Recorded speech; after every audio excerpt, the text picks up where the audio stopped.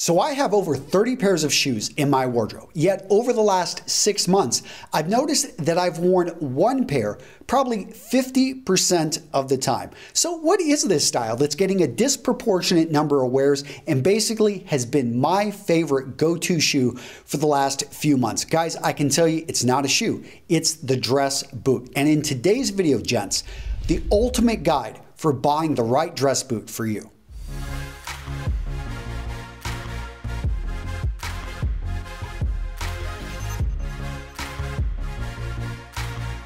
All right, gents, I'm gonna break this video up into three parts. First off, I'm gonna talk about the why. Why do you want to incorporate dress boots in your wardrobe? Next, I'm gonna talk about the what. What exactly are dress boots? Finally, I'm gonna talk about the how. How to incorporate dress boots into your wardrobe. Ready, guys? Let's get into it. Point number one, why? Why all the love for dress boots? I can tell you guys, over the last six months, 50% of the time when I leave my house, I'm wearing dress boots. And I wear them because they're comfortable. I wear them because they're versatile. I wear them because they have traction. And I live in a part of the country where we get rain, we get sleet. We're already starting to get, you know, a little bit of frost in the morning. And it's really nice. When I go to watch my son's football game, I'm going up and down on the bleachers and I'm not worried about falling down. They look great. I can dress them up. I can dress them down. And it really, it's the same boot. I get compliments on them. All of these, that's what I love about the dress boot. It is so versatile, so comfortable, and can give you so much traction. Now, a company I want to bring to your attention, guys, that I've been field testing for over six months Thursday boots. And I've got a couple different pairs right here, so definitely check them out. Guys, I'm going to link to them down in the description. Now, a couple things I want to bring to your attention about Thursday boots. Number one, the leather they use is from the Horween Tannery in Chicago, Illinois. They use a buttery soft inner glove lining, which I noticed this when I first got these boots. And I was asking Nolan, which I spoke with one of the founders, and he was telling me about why they chose this lining, how it makes the boot more comfortable. In my experience, in hot and cool weather. This is actually true. They've got an EVA comfort strip and they've got a cork bed midsole that molds to the foot. What this means, guys, is that you'll be able to wear these for 14, 16 hours and they're gonna feel great. Finally, guys, I need to really point out the price point is amazing. So if you haven't heard of this company, guys in my Facebook group have been talking about them. You definitely want to go check them out. Point number two, what exactly is a dress boot? What should you be looking for when you're going out there and buying your first pair? So guys, you're gonna see three common styles of dress boots. You're gonna see the Chelsea, you're going to see the Chukka, you're going to see the laced dress boot. I'm not gonna tell you which one is right for you, it depends on your needs, but let me help you understand how each of them are different. So the Chelsea is going to be laceless, and that's the key characteristic with this dress boot. It's usually gonna have elastic on the sides. Most modern Chelseas aren't gonna go more than two inches high higher than a pair of dress shoes, and they're just going to barely cover the ankle. Now, the interesting thing about the Chelsea is of all the dress boots I've mentioned, it's usually going to be the most formal because the base design of it is from a dress shoe. So you're going to see a leather sole, you're going to see a more delicate design, and basically the bottom of it right here isn't, you're not going to see much traction on most Chelseas out there. Now, some Chelseas you will see are actually made for winter and are going to actually have a rubber sole put over the leather, and they also may have have a zipper on the inside. Those don't really see them too much in the United States, but if you're looking for something for cold weather, that may be an option. The second style I want to talk about is the Chukka design. This comes from the desert boot. It's going to be both informal and casual styles. Oftentimes it's the materials and slight differences in the details of the boot, which are going to either make it casual or dressier. This pair right here is going to be dressier. I can tell by the leather sole, the thickness of the sole, the upper and the smoothness of the leather and the design. The lace itself that's used here, usually you're going to see anywhere from two to four eyelets. Uh, but right here, as you can tell, it doesn't go up very high.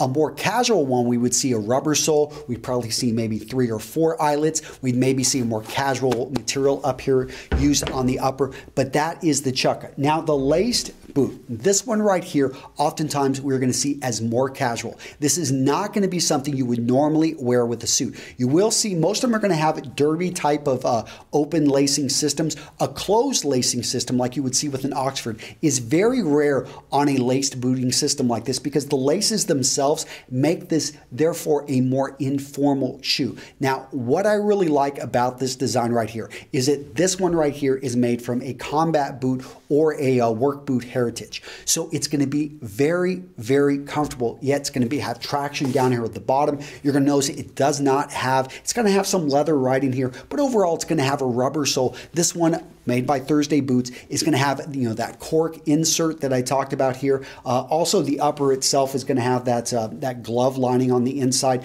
But overall, we see that this one has you know just double stitching right over and around here. So it's got leather laid over leather. What that does is again, it adds a bit to the design, but it also makes the boot more casual. But let's start to look now at the toe. Notice this one right here has a plain toe. This one right here has what's known as a cap toe. This pair of boots right here, notice all of the design. This here has a wingtip.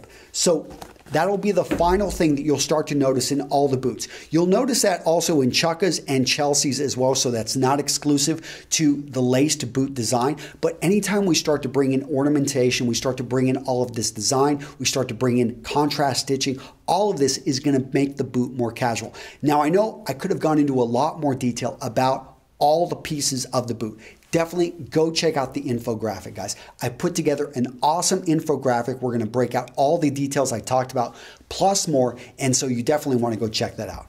Point number three, gents, how to pull off dress boots in your wardrobe. So I've talked about Chelsea's. You can actually a black, dark brown, wear those with a suit.